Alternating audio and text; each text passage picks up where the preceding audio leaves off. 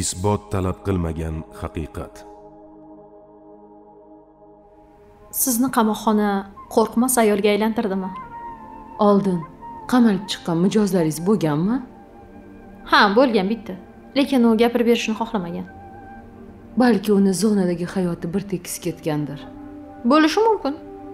Ozodlikda tirikchilik va baxtli yashash uchun kurashib yashaysiz. Zonada esa eson omon qolish uchun kurashasiz. Mana shu sizni qo'rqmasga aylantiradi. U yerda juda ham yomon odamlar bormi? Aslida ular ham oddiy ayollar.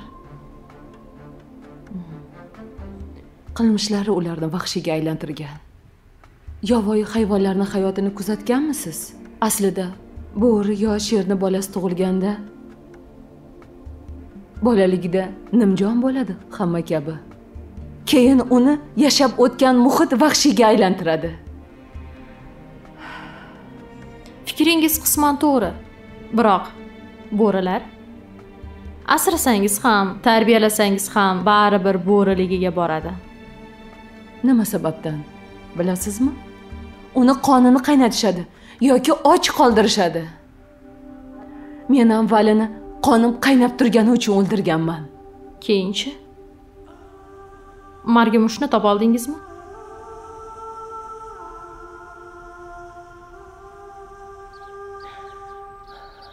Xolam ham bizni tashlab ketdi. Ruh shod bo'lsin.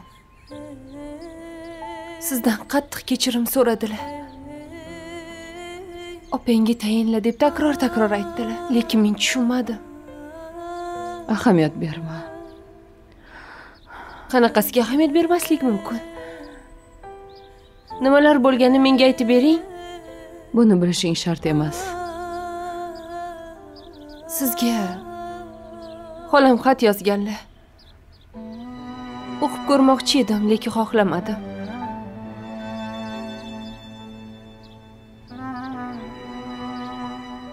Opa nimaga kayfiyatingiz yo'q? Nima bo'ldi? Ahamiyat berma. O'tib ketadi. Birdaniga ikkita o'lim. Avval yusuf keyin zarifa xolam. Boshimizda shuncha sinovlar bor ekan. Siqilma. O'tib ketadi. Nimaga bunchalar sovuq bo'lib qoldingiz? Ziyoda opa nimadir demoqchimisiz? Shunchaki o'zingni asra. Uyingga bora qol. Ering ham ishdan keladi. Opajon. Sizni yaxshi ko'raman. Men ham. Yur. Seni kuzatib qo'yaman.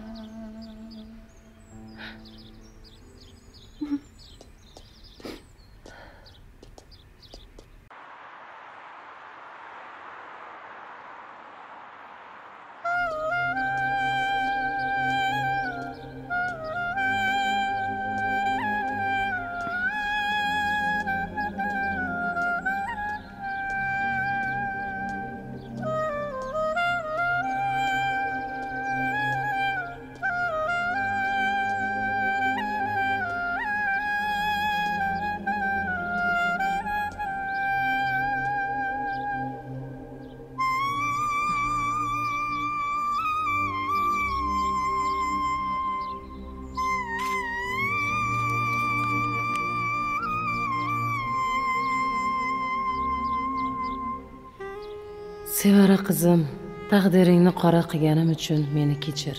Po'latjonga seni uzatmasligim kerak edi. Meni kasalimni davolataman deb o'zingni qurbon qilding bolam.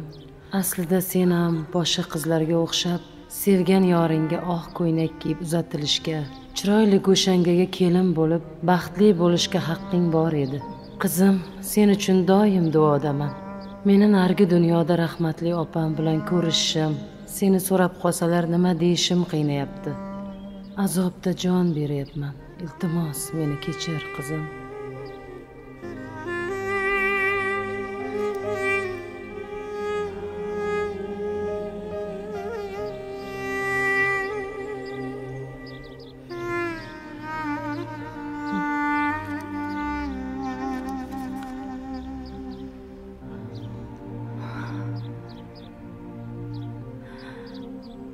Yusuf seni judayam sog'indim bolam senchi meni sog'indingmi?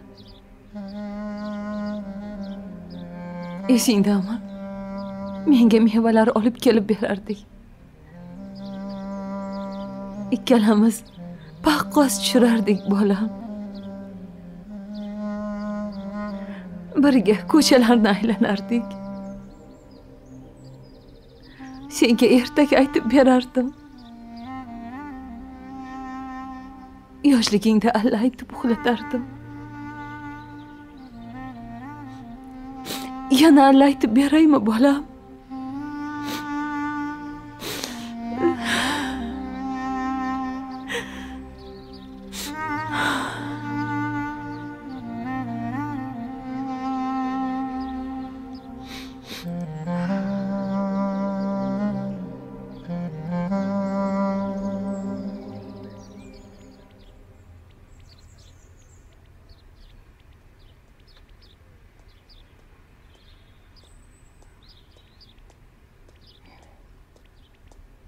Nima qilasan buni? Xavfsizlik uchun. Ertaga mohiyni oldiga olib chiqmoqchimisan? Agar u bilib qolsa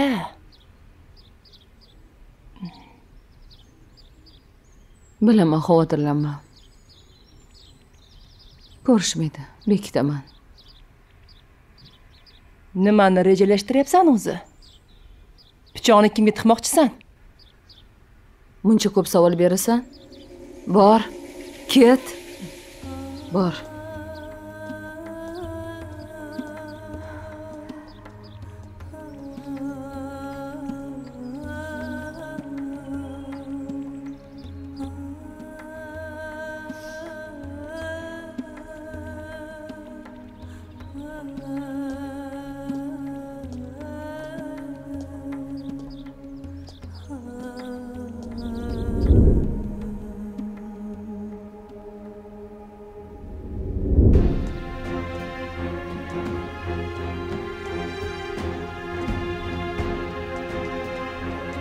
Ha keldingmi? Tayyormisan? Boshlaymizmi? Jonimga tegib ketding sendan qutulamanmi yoki yo'qmi? Qutulamanmi sendan yoki yo'qmi? Qo'yma o'zingni nima qilyapsan? Qo'yvor yana qamirasanmi qoch yana qamirasanmi o'zingni bos sevara o'zingni bos barakalla do'ndiqcha. Yetding. Kuching yetmaydi deb o'ylagandim. Sen g'olibsan. Bu dunyoda g'oliblar bo'lmaydi. Hammamiz mag'lubmiz. Jang bu shunchaki o'yin. O'yinda yutdim deb kerilmaslik kerak.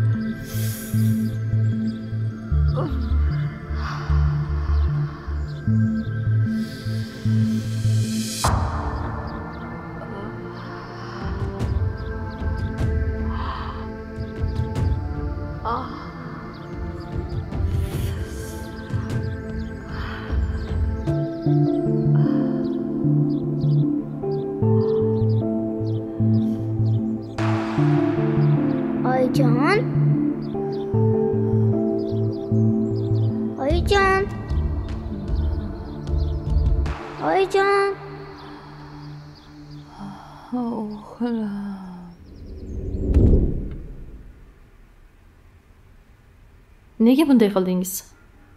Ko'zimga hech narsa ko'rinmagandi.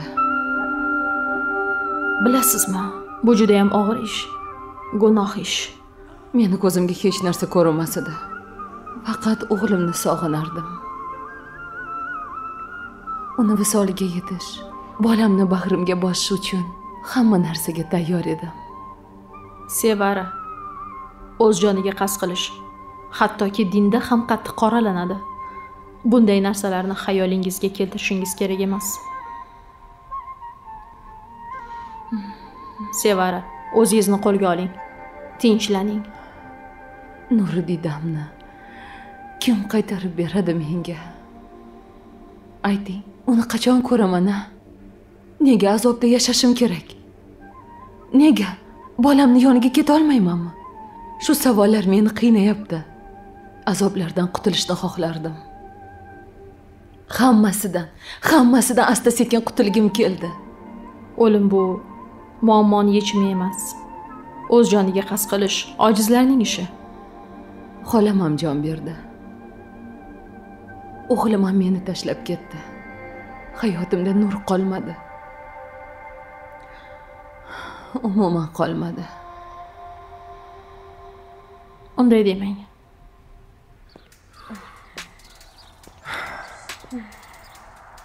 namuncha vahima qilmasang samiya oddiy bir tuproq bo'lsa. Meni ham ishdan olib qolding. Bu yerda boshqa narsa bor. Sarvar aka men qo'rqib ketyapman. Shoshmay turing yana ozgina vaqt o'tsin keyin ketaverasiz. Bu ishni bekorga qilishmagan. Menga qara har xil irim sirimlarni yig'ishtirishing kerak.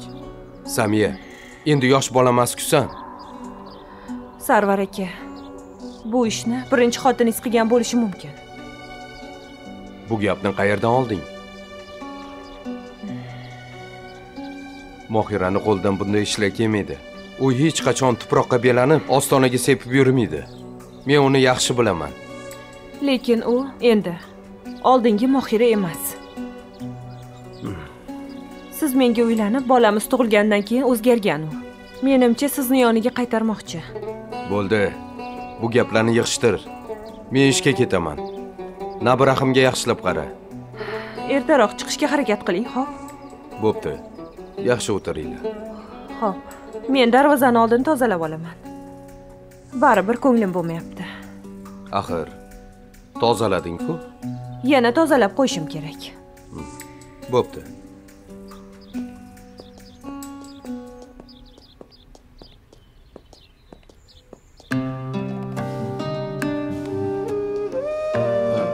yig'ladingizmi opa? Bu yerda ko'pchilik kelib yig'laydi o'zi. Lekin nafisa opa judayam mehribon psixolog. Hammani dardiga malham topadi. Sizga ham maslahat berdilarmi? Ha. Unda hech qachon yig'lamang. Hech kim sizning yig'lashingizga arzimaydi. O'zingizni asrang. Rahmat. Opa. Ko'zlaringiz chiroyli ekan. Bu ko'zlarga yosh emas kulgu kerak. Har doim kulib yuring yaxshi qoling. Nafisa xonim choy icharmikinlar a?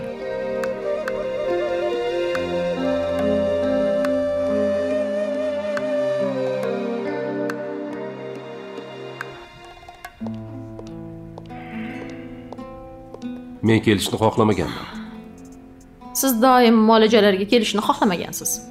Chunki foydasi yo'q. Men sezmayapman nega bunday fikrlayapsiz? Nigina sizni oldingizga kelsam ahvolim yaxshilanadi deb o'ylaydi. Lekin yaxshilanmadi. Oila qurganingizga necha yil bo'ldi? To'qqiz yil. To'qqiz yil davomida yemirilib kelgan oilani men to'qqiz kunda tiklolmayman odamzod o'zi shunaqa. Yillar davomida parchalaydida tiklashga kelganda sabrsizlik qiladi. Bo'pti. Bugun qanaqa mavzuda gaplashamiz? Men tayyorman. Tayyor bo'lsangiz yaxshi bugun bolaligingiz haqida suhbatlashamiz. Bolaligimni hozirgi suhbatimizga nima aloqasi bor? Siz o'tgan yillaringiz haqida gapirib bera olasizmi? Men esa aloqasi haqida aytaman. Boshladikmi? Ho'p nimani gapiraman? Ota onangiz bilan munosabatingiz yaxshi bo'lganmi? Ha yaxshi. Otangiz nima ish qilganlar? Uyingizda biror marta ham janjal bo'lganmi o'zingizni bemalol qo'ying. Xotirjam bo'ling menga ishoning. Asta sekin o'sha damlarni eslashga harakat qiling.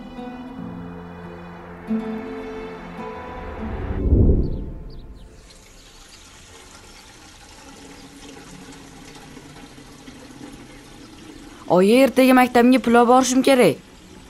Nima uchun bolam? O'qituvchimiz aytdi. Dadangdan so'ragin birinchi xo'pmi dadam o'tgan safargidek urush bersalarchi? Qo'rqma urushmaydilar unda o'zingiz so'rab berasizmi? Bilmadim. Qornim ochdi oyi. Shoshmay tur bolam. Dadang kelsin ovqatlanamiz. Bo'lmasam jahllari chiqadi bilasan-ku dadangni. Hop qachon kelarkanlar bugun yana kechikyaptilar kelib qolar mayli bolam sabr qil. Nega meni kutib ana kelyaptilar shekilli dadangga kiyimlarimni tikkanimni aytmagin xo'pmi bolam? Hop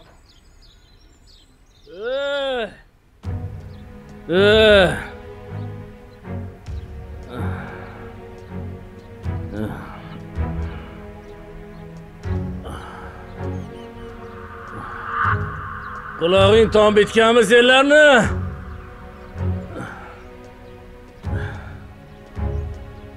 Lobar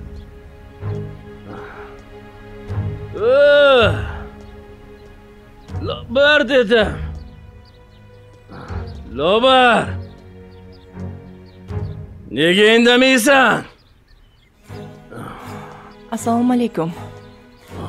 Assalomu alaykum dada bor uydan pul olib chiq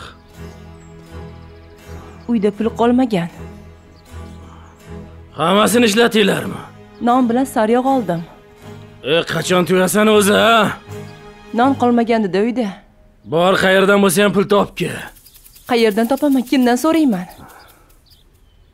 Dada boshqa ichmang ey nima deding sen bolani urmang. Bolani urmang. Ey men qara. Dada oyimga tegmang yo'qol tirancha nega bolani urasiz? Nega bolamizdan alamizni olaverasiz?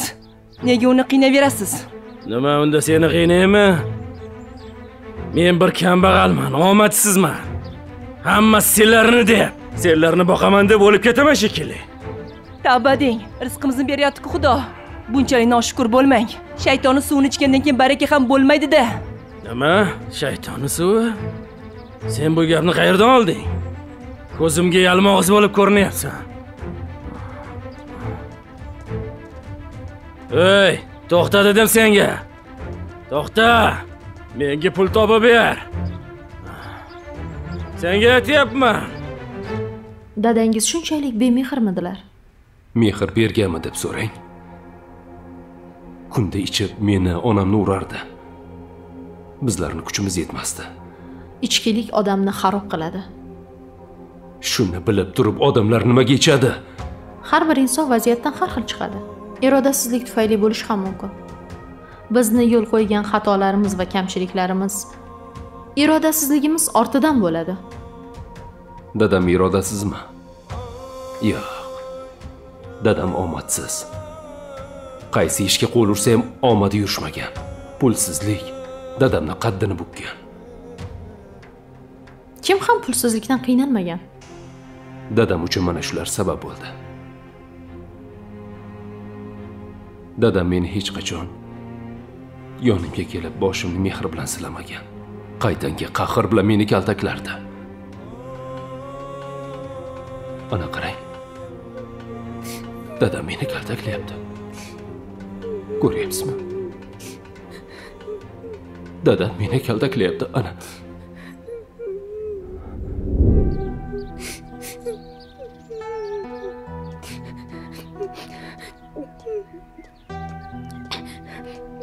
Nimaga shumshayib o'tiribsan quyon yurak. Tur o'rningdan sen katta bo'lsang menga bir karomat ko'rsatarmiding o senga gapiryapman. Dada tegmang senga gapiryapman. Eshityapsanmi deyapman menga tegmang seni boqish jonimga tegdi bildingmi? Ona ikkalang do'zaxga aylantirding hayotimni. Bo'ldi qil nega yig'laverasan o'g'il bolamisan? Dada urmang meni iltimos. Hozir men senga urish qanaqaligini ko'rsatib qo'yaman. Bu yoqqa yur. Dada. Yer, dada. urmang iltimos. Bu kunlarni hech qachon unutolmayman. Tasavvur qilyapsizmi? Hech qachon unutolmayman. tinchlaning. Dada desam faqat ko'zim oldimga vahshiy odam keladi. O'z nafsiga qul odam keladi tushunyapsizmi? Shu ichkilikni chiqargan odamni uyiga borib o't qo'ygim keladi nafratlanaman hammasidan. Bu nafrat sizni ham tamom qilishiga yo'l qo'ymasligingiz kerak. Qanaqasiga? Yengib bo'lmaydi buni. O'tgan ishlarni o'zgartirib bo'larmidi? Dadam onamni juda qiynardi. Urib azoblardi. Ishlatardi. Onam bechora qishda sovuqda ishlab kasal bo'ldilar. Va meni tashlab ketdilar. Alloh sabr bersin. Onamni mayus nikohi. Kaltakdan ko'kargan yuzlari. Haliyam ko'z o'ngimdan ketmaydi. Hech qachon. Dadamni ko'rsa titrab turishlari. Meni kaltaklamasliklari uchun qo'llari bilan meni bekitardilar bularni unutolmayman. Hech qachon unutmayman. Ularni asrab qololmadim siz o'shanda bola bo'lgansiz. Buning uchun o'zingizni ayblamang. Onam homilador edi.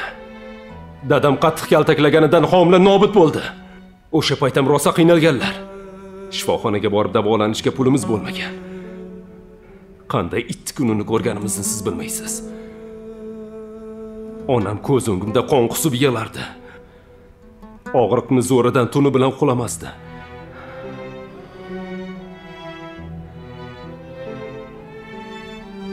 onam bechorani asrolmadim ko'rib turib hech narsa qila olmasdim.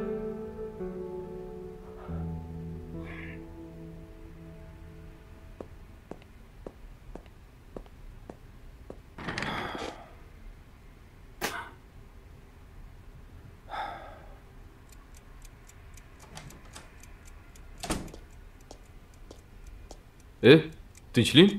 Nega kech qolding ishga yomon xabar bor. Juda yomon xabar. Hm tinchlikmi nima bo'ldi? Gapir yuragimni siqmasdan tinchlik emas. Samiya o'shani qo'lida ishlarkan. Kimni qo'lida? O'sha psixologni qo'lida. Sherdor tamom bo'ldik tushunyapsanmi? Nima? Nima deding bunaqa bo'lishi mumkin emasu qayerdan bilding? O'zi nafisa deb gapirganda sezgandim. Yaxshi ish bo'lmabdi. E bo'pti mayli. Ahamiyat berma. Nima u bizni qidirib yuribdimi? U meni ko'rdi. Qachon?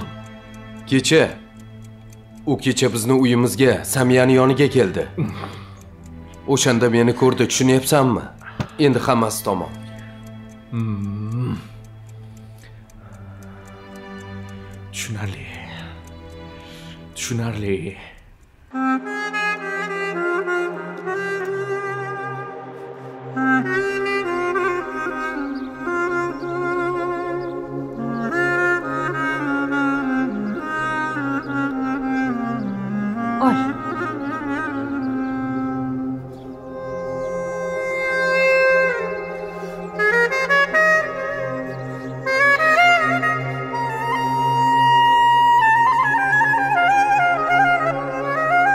Bir birini ko'rganda nega buncha cho'chib ketishdi? Nafisa opa sarvar akani qayerda ko'rgan bo'lishlari mumkin? Ular bir birini qayerdan tanirkan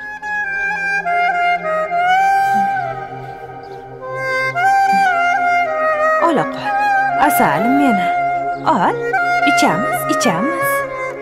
Hammasini. Ma ma ma.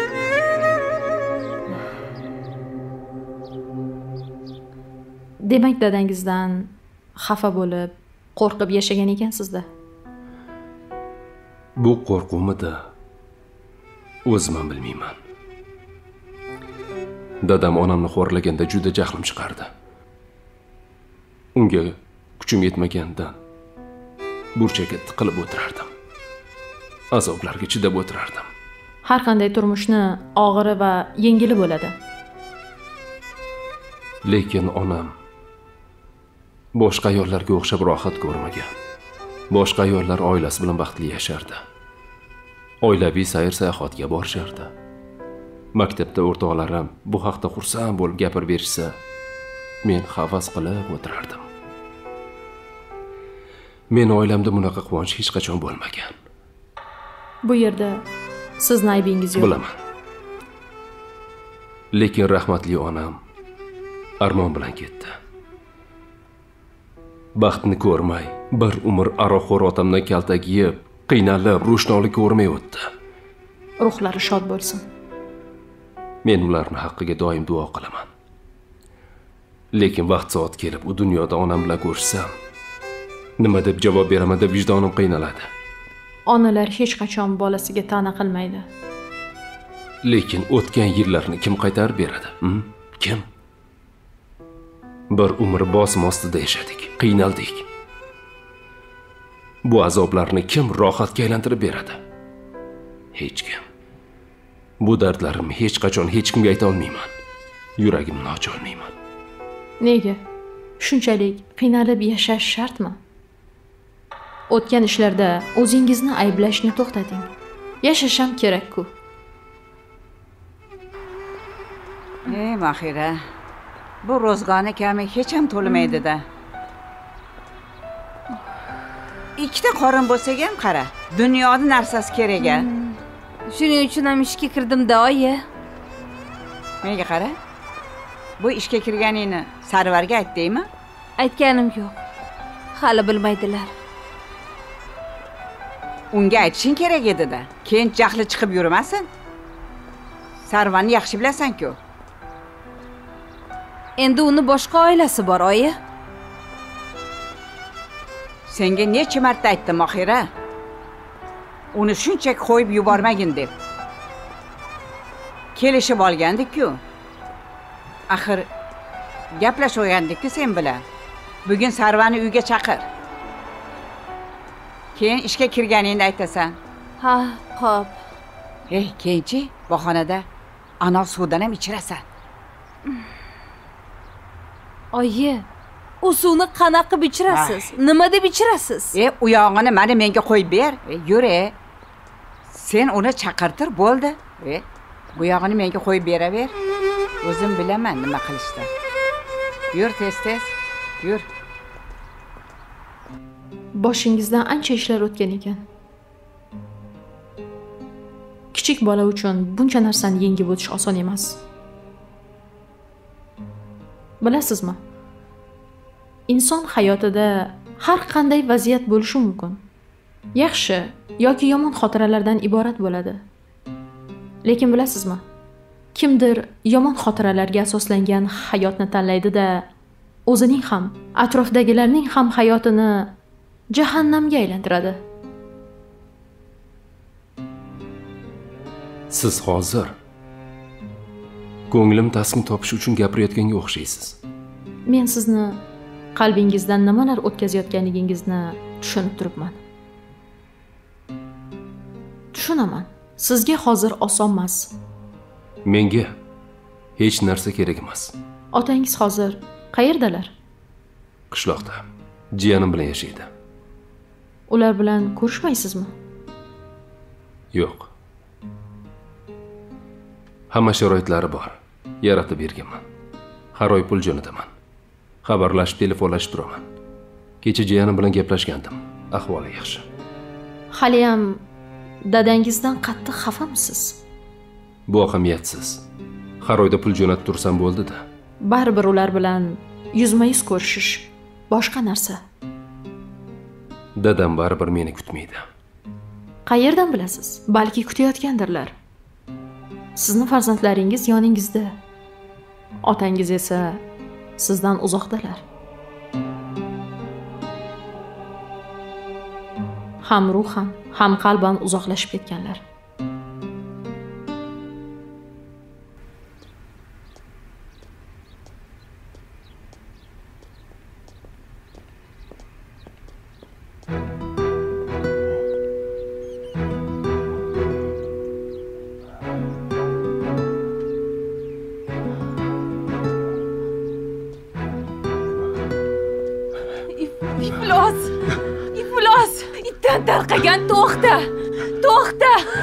To'xta dedim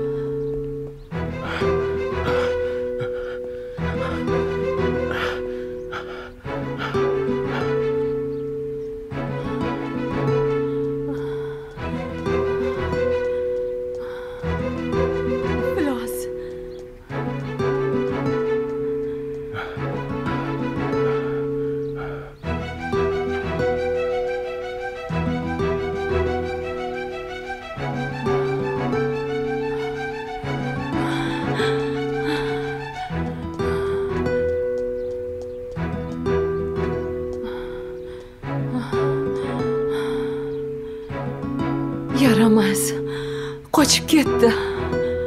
Bu aniq o'shamidi? Ha aniq o'sha edi demak u toshkentda ekanda. Uni albatta topishim kerak albatta.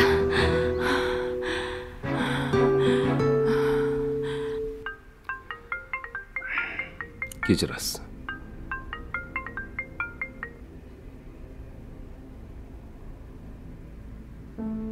Agar xohlasangiz bugunga tugatishimiz mumkin. Vaqt ham bo'lib qoldi. Nafisaxon hozir men sizga hech kimga aytmagan gaplarimni aytib berdim. Xavotir olmang. Bizda mijozlarni holati sir saqlanadi. Siz bilan bir ishni bajaramiz. Qanaqa ish? Dadangizni yoniga birga borsak nima deysiz? Men u odam oldiga bormayman keling hozir bu haqida gaplashmaymiz. Bilaman hozir bu holatga tayyor emassiz. Muolajalar asta sekinlik bilan ta'sir qiladi. Bu ko'p vaqtni olishi mumkin. Sizdan faqat xotirjamlik talab qilinadi. O'ylab ko'raman men ketishim kerak. Yaxshi boring. Keyingi qabul kunini xabarini beraman. Ha kotibingiz ko'rinmayapti ishlamayaptimi bugun? U hozir dam olyapti qabulingizga ko'p odam keladi qiynalib qolmaysizmi? Siz ko'p qayg'ularni ichingizga yutib qiynalib yashaysiz to'g'rimi? Men ham sizga shuni aytgan bo'lardimki inson qanchalar ko'p narsalarni yutsa tashqariga ham shuni berishni boshlaydi. Shuning uchun yaxshi narsalarni ko'proq o'ylash kerak. Bu siz aytganchalik oson ish emas. Agar chindan ham istasak imkon topamiz. Balkim. Mayli yaxshi ishlang. Rahmat salomat bo'ling.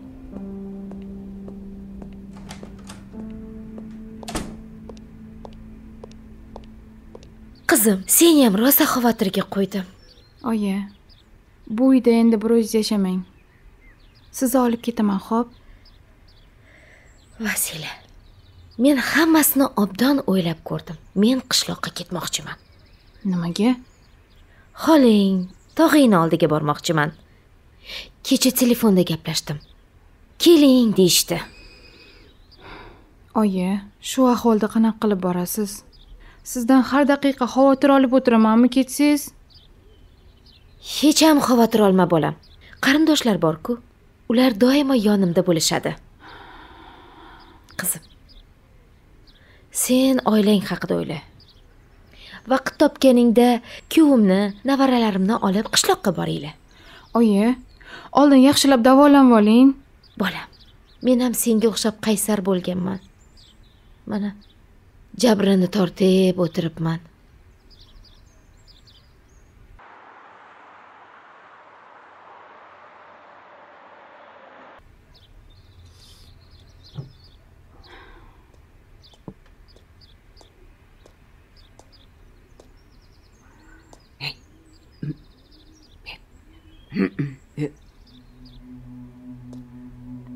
bu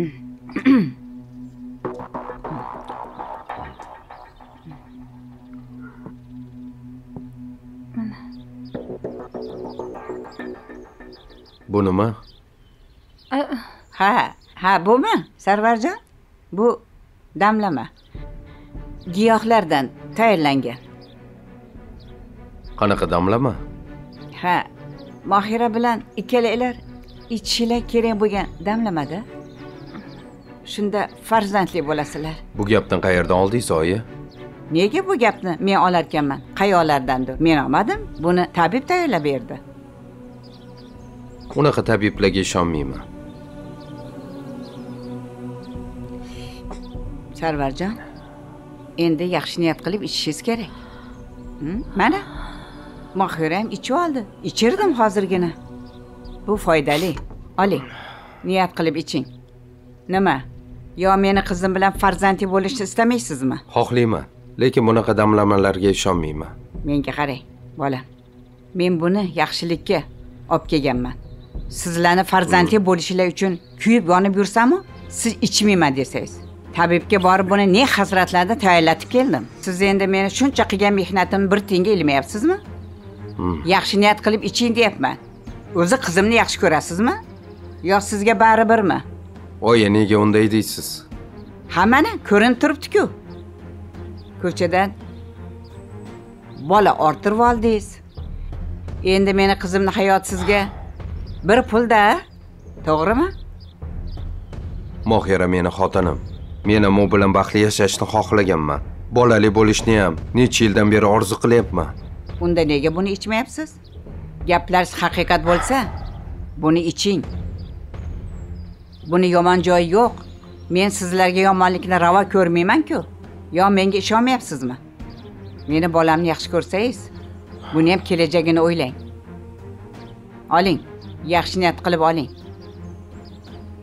Oling.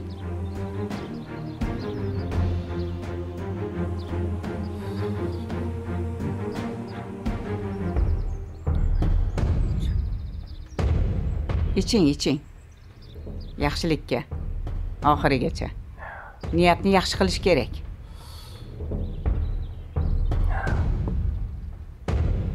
Mana bo'ldi. Hmm.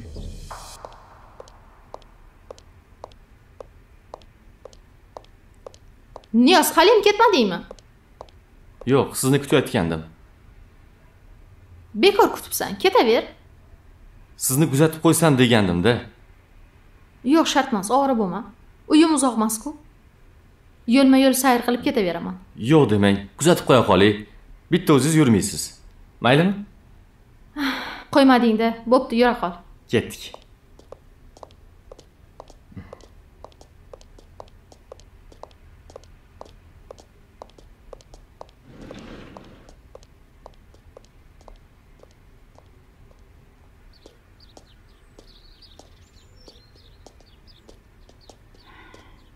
ey.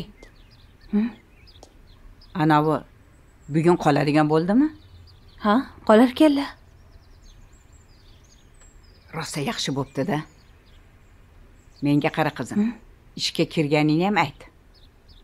Jahllari chiqsa-ya chiqishi aniq. Ha o'zing boshlading-ku. Bo'pti. Tezroq kir yoniga lekin oyog'im tortmayapti-da. Nimaga endi menga begonaday baribir boshqa odamniki. Haligi nima derdi? Ey namuncha mujmallashasan? U seni ering. Hammadan ham seni haqing ko'p bunda. Bor tezroq kir uni oldiga. Bor dedim bor. Ye lalla yesan Hmm. qimirla. Ho'p